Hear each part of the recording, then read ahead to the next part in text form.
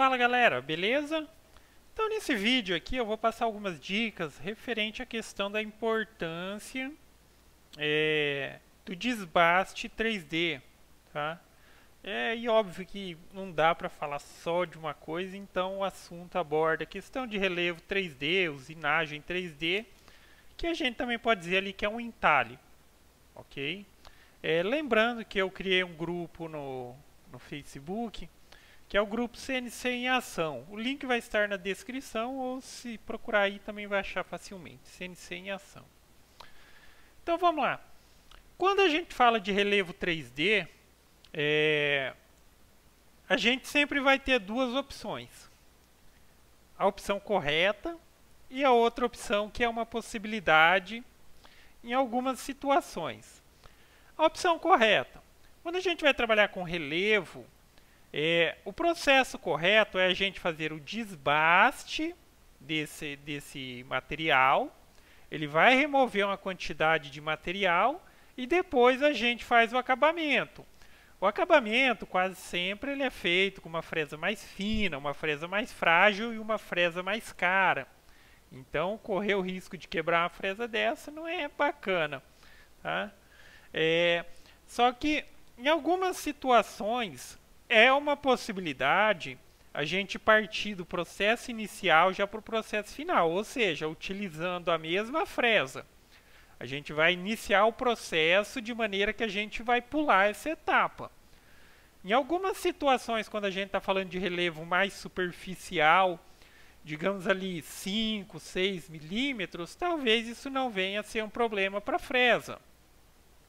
Mas, ainda assim, é, é interessante estar atento a algumas coisas que eu vou mencionar aqui para a escolha do processo de que maneira tem que ser feito. Então, eu vou mencionar aqui essas duas situações. Então, vamos lá. Aqui eu tenho um círculo, e daí através aqui do processo de modelar, eu criei aqui, é, vamos dizer assim, um relevo negativo, ou a grosso modo um buraco. Tá? Quando a gente quer fazer uma cuia, uma tigela, então seria assim, basicamente um relevo negativo. Vamos considerar a situação de que ah, eu quero utilizar a mesma fresa para fazer todo o processo. Tá? Não vai ter a etapa de desbaste. Então, perceba o seguinte. Quando a gente vem aqui, e nesse caso a gente já vai criar o percurso de acabamento, percurso de acabamento, é, a gente vai ter duas estratégias de trabalho, que é a contorno e é o varrimento. Tá? E a gente pode alternar também aqui a direção. Mas vamos focar aqui, contorno e varrimento. Como o contorno trabalha? O contorno ele vai até o centro do, dessa peça que você desenhou e vai iniciar o processo. O varrimento, ele vai é, de um lado para o outro, tá? direita, esquerda, esquerda, direita, e vai alternando aqui as laterais. Nessa situação, qual seria a melhor estratégia utilizar para que é, eu não tenha o risco de quebrar minha fresa, ou o risco seja menor? Aqui a gente está falando de um relevo mais, é, uma profundidade maior. Então, nessa situação aqui, não seria interessante o contorno. Por que não seria? Eu vou calcular aqui. Ó. Por quê? A fresa ela sai daqui, ela vai até o centro e vai iniciar o processo. Porém, no centro é a parte mais funda da peça. Então ele vai descer aqui, ó, vai entrar com a fresa toda de uma vez no material e vai iniciar a trabalhar. A chance de quebrar aqui, logo nessa entrada, é muito grande. Por mais que a gente vai trabalhar com passes laterais bem pequenos, por assim dizer, essa primeira entrada pode comprometer é, ao ponto de quebrar a fresa. Então, nessa situação, que eu vou partir do começo e quero ter o resultado final com a mesma fresa, não seria interessante o contorno. Vamos calcular agora aqui com varrimento. Calcular. Então, no varrimento, olha como que ela vai trabalhar nessa peça ela vai começar aqui da parte mais rasa e vai aprofundando a casa passe lateral. Sim, em determinado ponto ela vai estar naquela determinada profundidade. Porém, a gente sempre trabalha com passes laterais pequenos. Tá? Então, nessa situação, a estratégia, a melhor estratégia, a melhor escolha para não ter risco de quebrar a fresa seria é, a questão de fazer aqui o varrimento. Agora vamos a outra situação aqui. Aqui a gente, como mencionado, estava trabalhando num relevo é, negativo. Agora vamos aqui para o positivo. Agora aqui a situação se inverte. Tá? Eu tenho aqui positivo. Quando a gente quer partir do início para chegar no resultado final utilizando a mesma fresa, vamos ver qual que seria a melhor escolha. Aproveitando aqui que apareceu essa, essa opção, isso aqui sempre vai aparecer a primeira vez que você desenhar, modelagem e tudo mais ali. É, o que eu preciso explicar aqui é essa parte aqui que é mais importante. Considera essa face aqui. Ó. Essa face toda aqui, as duas cores, independente da clarinha ou escura, representa a totalidade aqui da espessura do material. Sendo que essa clarinha, ela corresponde ao seu material, à sua peça, tá? A sua peça. Aqui, essa peça Pode ver, ó, folga acima do modelo, ela está posicionada rente aqui com a superfície. Se eu quiser dar uma folguinha, em que situação essa folguinha seria interessante? Ah, eu tenho uma peça que eu desenhei, mas ela tem uma superfície é, que ficaria rente, ela, a parte de cima dela ficaria rente com a superfície. Quando a fresa passar ali, provavelmente ela nem vai remover material. Então, às vezes é uma tábua ou uma peça que você quer remover uma camada também da parte de cima para não ter risco de ficar na peça. Você dá uma folga aqui, ó. Pode ser um milímetro, dois milímetros. Tá vendo? Então, ela posicionou a peça um pouquinho abaixo aqui para fazer a usinagem. Então, ou seja, ela vai limpar também a parte de cima da peça. Um pedacinho, mas vai. Daí você determina aqui. Então, voltando agora aqui na questão da escolha de qual seria a melhor estratégia. Então, nessa situação, vamos calcular aqui, ó, agora com o varrimento. Agora aqui a situação se inverte, ó, porque se eu deixar a opção de varrimento, ela vai começar a trabalhar aqui, ó, vai começar a trabalhar aqui na beirada, e logo aqui no canto da peça ela vai descer de uma vez. Então vai dar um passe muito grande aqui nessa entrada. Tá vendo? Então nessa situação a melhor opção seria o contorno, tá? Esse relevo positivo aí, ó, seria o contorno. Porque ela vai no início, no, no início, ela vai no centro da peça, só que a, o centro da peça é a parte mais alta. Tá vendo? Então, aqui ela começaria removendo menos material até o ponto que ela estaria removendo bastante material. Tá? Óbvio que em todas as situações que eu estou mencionando aqui, a fresa deveria suportar ou ter a capacidade de corte da peça que você está fazendo. Tá? Só que é entre a escolha de um ou outro, qual que seria melhor, tá? para não ter risco de quebrar a fresa. Só que agora vamos considerar outra situação.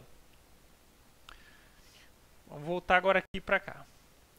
Apesar de que é, o mais recomendado para fazer o processo é, na fresa única seria esse daqui. Nesse caso aqui agora aqui negativo, seria o varrimento.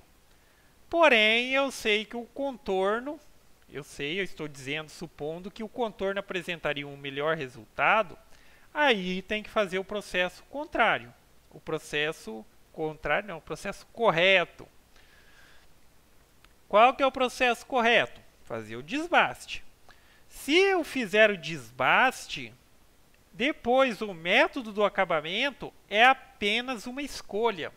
Então não tem essa condição que eu mencionei ah, se for assim pode quebrar a fresa. Então vamos calcular um desbaste aqui, ó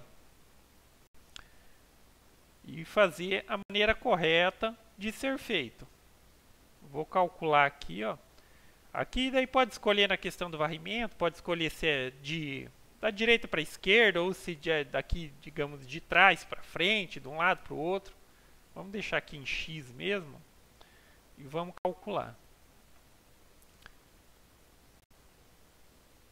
E vamos simular. Então, tá vendo? Quando eu faço desbaste, aqui no desbaste, eu posso escolher a ferramenta que eu quiser. Pode ser uma ferramenta mais grossa, uma ferramenta mais fina. É, só que também tem essa condição. Quanto mais fina for a ferramenta, menos material vai sobrar para a próxima. Se é uma ferramenta mais grossa, ela vai deixar mais material para a próxima ferramenta. Mas enfim, sem risco de comprometer a possibilidade de fazer a peça. Só estou dizendo, por exemplo, com essa de 3 milímetros, ela chegou nesse resultado de desbaste.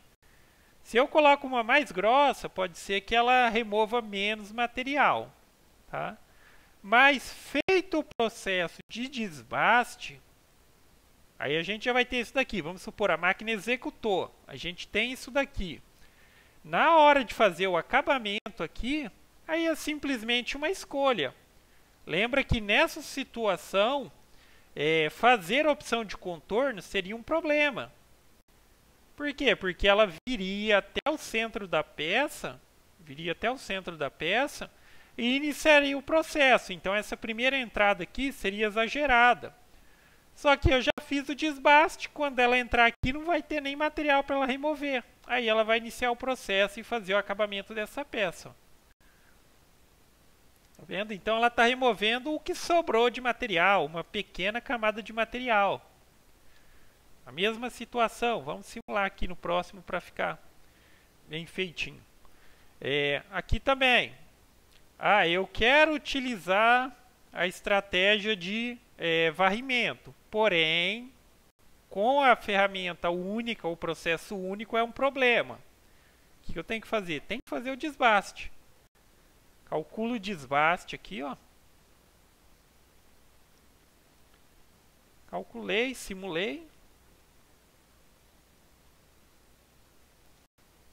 Aí a gente teria esse resultado aqui após o desbaste. E eu poderia vir agora aqui na ferramenta de acabamento e sem problema algum utilizar varrimento, pela simples escolha, ou contorno ou varrimento. Tá vendo? Mesma situação, por mais que esse primeiro passo que ela já vai chegar aqui vai estar tá lá na profundidade final, aqui não vai ter mais material para ela remover, porque foi feito o desbaste. Vamos simular agora. E, tá vendo? Ela viria e ela removeria o que sobrou de material, que seria uma pequena camada. Tá? E aquela questão, quanto mais fina for, vamos tentar simular aqui com uma fazer o desbaste aqui com a ferramenta mais grossa. Óbvio que quando é um trabalho maior, tudo mais, é uma melhor opção utilizar uma ferramenta mais grossa.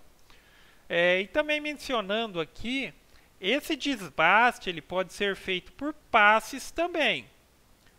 Aqui na opção de editar aqui, ó, eu determinei que a profundidade de cada passe do desbaste fosse de 6 milímetros. É, talvez para a ferramenta de 3 seja exagerado, foi só para um exemplo.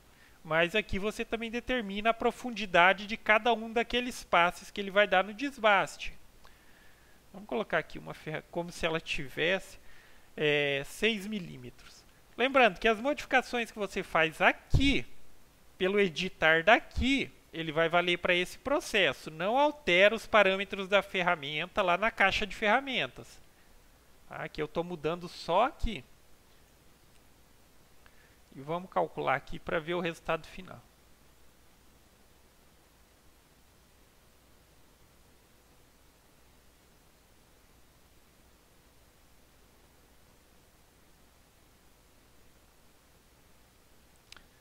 Então esse resultado aqui, aqui é pouco perceptível, mas ele é diferente de utilizar aquela outra ferramenta. Tá? A ferramenta é mais grossa, a chance de que tenha mais material para a próxima ferramenta remover é maior, mas enfim, vai chegar no mesmo resultado depois.